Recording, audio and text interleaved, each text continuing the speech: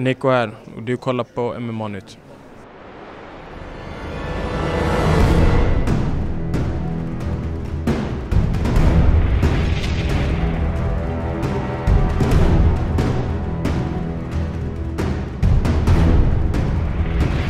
Sebastian Wendel Martinez, MMA-nytt här i Stockholm för UFC on Fox 14 där Nico Musoke tar sig an Albert Tumenov. Så Nico, vi snackade lite om detta i Stockholm, eller i Malmö. Uh, Albert Tumenov, Yes. intensiv snubbe och han kommer från två raka knockoutvinster i första ronden. Nå- Ett resultat han är ganska van vid. Eh, har du kunnat specialisera din träning lite grann för den intensiva stilen nu den här veckorna precis innan match? Ja, självklart så har man med det i, i planen, i, i träningen inför. Kolla på tendenser och vanor hos motståndaren man har härnäst och så har vi gjort den här gången. Men mer än något annat så är det att fokusera, vi har fokuserat på mig. Eh, saker som jag redan gör bra, saker som kan göra ännu bättre, täppa till hålen och jobba hårt. Finns det något särskilt som du känner att du kan göra bättre eller är det mer kanske en helhetsbild? Som fighter, självklart, det finns det alltid. Och om du frågar mig så har vi inte kommit någon, någon bit alls. Eh, men det gäller att omge sig med rätt personer som har öga för vad en, vad en behöver och som tur är har jag det. Eh, jag har full tillit till de som håller i, i de taktpinnarna. Eh, och ja, jobba på allt. Vässa styrkor, täppa till hål. Det är det det handlar om. Uh, sist när vi pratades vid i, i Malmö så fick du gåshud av att tänka på hur det var att gå in i Globen. Nu, det är lite av en uppgradering. All respekt till Globen men detta är ju helt andra bullar.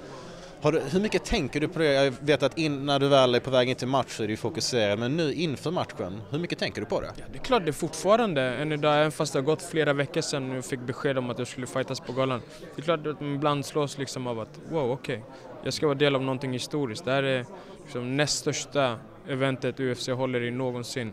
Eh, det sker i Sverige, det sker i Stockholm, det sker en kvart ifrån där jag bor. Det kunde inte bli bättre.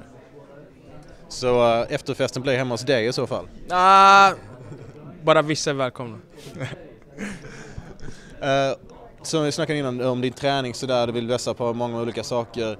Du har en del pendlande att göra mellan din, din uh, träning. Du kör ju på en del olika ställen. Uh, kan du lista alla olika klubbar som du tränar på just nu? Ja, jag tränar på Prana Jiu-Jitsu, eh, jag tränar på Rinkeby Muay Thai, eh, jag tränar på Nexus Stockholm. Det är Stockholm. Eh, Det är en tur vi har att vi har så bra klubbar, kompetent folk som gör det möjligt att man kan eh, tävla och träna på den absolut högsta nivån här i Stockholm. Eh, Så ja, ibland får visst man får åka en tur extra men det spelar ingen roll. Jobbet behöver göras och jag ser till att det blir gjort. Jag kan tänka mig att det väldigt fördelaktigt att kunna få väldigt många olika perspektiv och träningsstilar. Men samtidigt kanske också kan vara lite frustrerande att träna på så många olika ställen och kanske inte få ihop alla bitarna som man vill. Hur ser du på det? Är det bara positivt? Eller? Nej, relationen och dialogen coacherna emellan, den är god. De känner varandra sedan innan och ja, det är egentligen inte en faktor. Bara att de, de jobbar på lite olika ställen. Ibland tillsammans under ett och samma tag.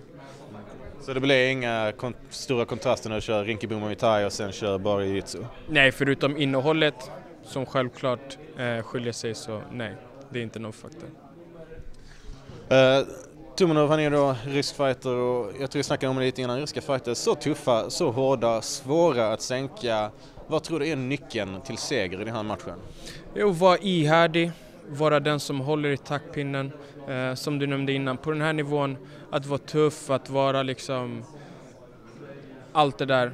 Ja, det är alla. Det är alla. Sen kommer det handla om vem som är bättre. Eh, och den som håller i taktpinnen, vilket kommer vara jag, tidig söndag morgon. Eh, den som får sin vilja igenom. Eh, den som är mest närvarande, den kommer vinna. Och det är jag, än en gång. Och det är ju då en av endast tre svenska fighters på detta kortet och eh, du, av, du avrundar då underkortet. Jag tror vissa var lite förvånade att du inte hamnade på huvudkortet eftersom du är lite högre rankad och sådär och du kommer från vinst. Blev du också överraskad? Ja, jag blev överraskad att jag inte hamnade på huvudkortet. Eh, Jag gick mina första matcher, de hamnade alla på eh, huvudkortet. Min tredje match var ett co-main event. Eh, därefter två matcher på underkortet. Sak samma. Det är snart bakom oss. Jag vinner övertygande och sen kommer ni se mig mycket högre upp på kortet.